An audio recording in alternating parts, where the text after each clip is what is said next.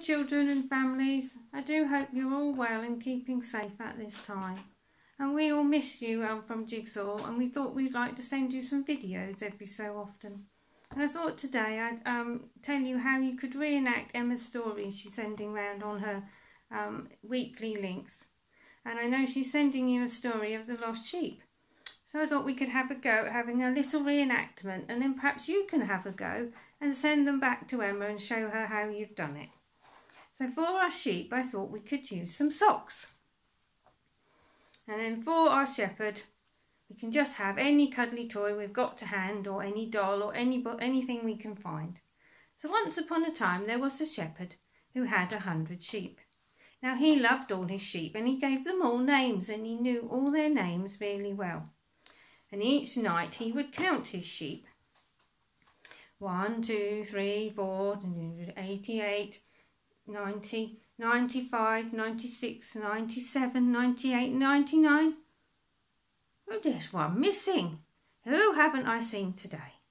I, I don't think I've seen Blue Tuft. Oh dear, Blue Tuft, where have you gone? So the shepherd gets himself some packed lunch and off he goes to look for Blue Tuft. And he searches as high and low and he looks round things and as he's walked a really long way, he finds Blue Tuft and he is so happy and overjoyed.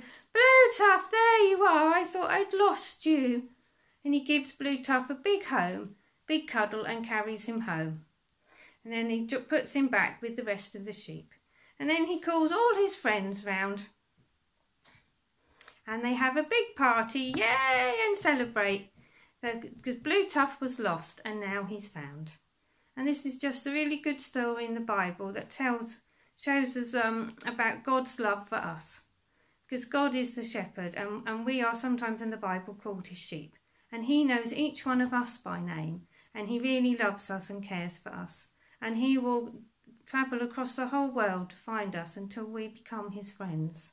And it's just good to remember at this time that if we ever feel lonely or, or um, sad, we can um, just call out to God or pray to God and ask him to come and help and be our friend and just guide us.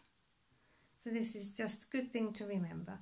And I hope, children, that you all have a good week and that you'll all have a go at uh, retelling Emma's stories and sending her back the, um, your videos so that we can see how you're getting on.